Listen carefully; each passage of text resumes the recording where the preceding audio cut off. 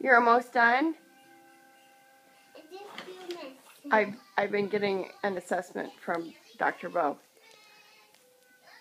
Uh, he, he gives me medicine with his uh, squirt gun. I think he's a cardiologist. He's very worried about fixing my heart. Well, where's your stethoscope?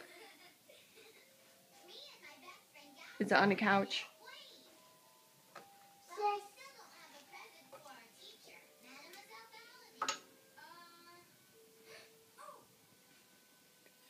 Are you going to fix my heart, Bo?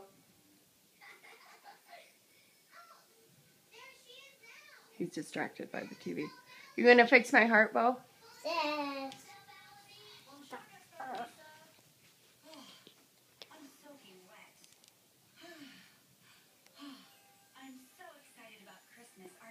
Am I okay? Sis.